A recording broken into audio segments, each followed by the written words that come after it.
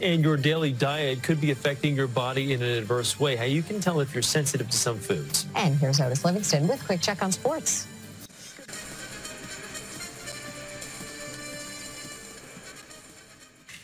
New this morning, you probably heard the old adage, you are what you eat. Well, one New Jersey doctor says that's not entirely true. Alex Denis is back now to explain. So I feel like we have a lot of these problems. If you are feeling tired, sluggish, can't lose weight, well, it may be the healthy foods in your diet causing the problem. So I'm not saying go eat all the junk food you want, but a simple blood test can show which foods, even the healthy ones, wreak havoc on your day. Tim O'Donnell is a law enforcement officer who found himself struggling with his normal routine. You know, kind of tired and sluggish, and I, I, felt that my work was beginning to suffer. He's not alone. Dr. Ali Maz, clinical director of Medwell Functional Medicine in Bergen County, says he hears the same complaints far too often.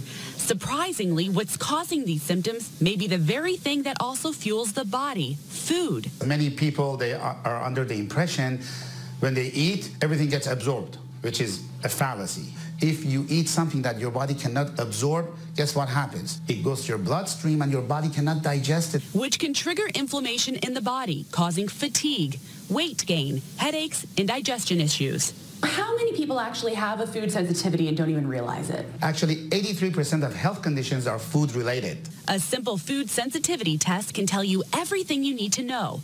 A prick of the finger and a scan of the blood breaks down each individual's response to 96 common foods.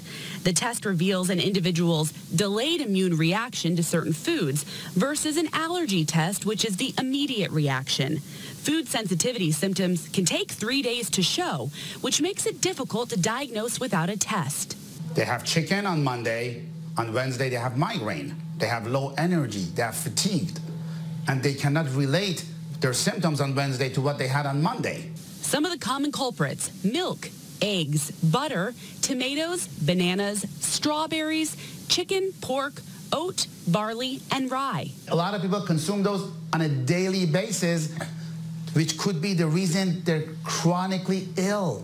Which was the case for this busy mother of four who spent years trying to manage symptoms. Like everything inside of me was screaming like something's wrong. The test indicated that she was sensitive to wheat and dairy. She immediately cut out the foods from her diet. How soon did you start to feel better? Within two days. And the same goes for McDonald. He now has more energy and an added bonus. I lost about 25 pounds, and not to boast, I really didn't try.